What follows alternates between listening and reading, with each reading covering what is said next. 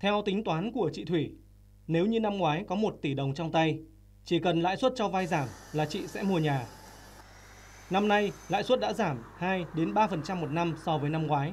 Thế nhưng, chị Thủy vẫn tiếp tục chờ đợi, bởi không biết khi nào giá nhà mới ngừng tăng. Khá là băn khoăn liệu rằng đấy có phải là tăng thật hay không, hay là do có một cái sự tác động ở bên ngoài nào đấy để làm cho giá nhà tăng ảo. Lãi suất giảm 2 đến 3% nhưng giá nhà đã tăng bình quân 10 đến 15%. Theo thống kê, trong quý 1 năm nay, giá chào bán chung cư trung bình tại Hà Nội là 46 triệu đồng một mét vuông, tăng 6 triệu đồng so với năm ngoái. Chính vì vậy, người mua nhà đang có sự cẩn trọng nhất định. Vì cái cầu tín dụng thấp do vậy mà đến lúc này thì các ngân hàng cũng rất là mong muốn là đẩy cho vay ra cả với doanh nghiệp, các nhà phát triển bất động sản cũng như là người vay để mua nhà.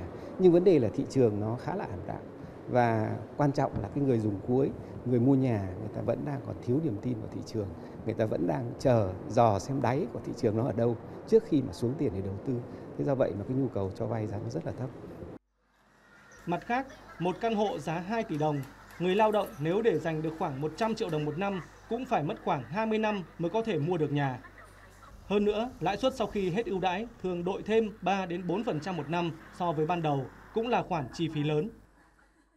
Rõ ràng là nếu như cái chi phí về nhà ở nó hút quá nhiều cái nguồn lực của các hộ gia đình ấy, thì người ta không còn cái nguồn lực để mà tiếp tục tái tạo sức lao động cũng như nâng cao cái trình độ và năng lực sản xuất kinh doanh và có thể ảnh hưởng đến các cái hoạt động khác trong xã hội và từ đó làm cho cái nguồn lực xã hội nó bị phân tán.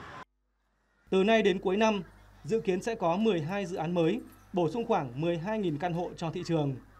Năm sau sẽ có thêm khoảng 84.000 căn hộ nữa, phần nào xoa dịu giá nhà hiện nay.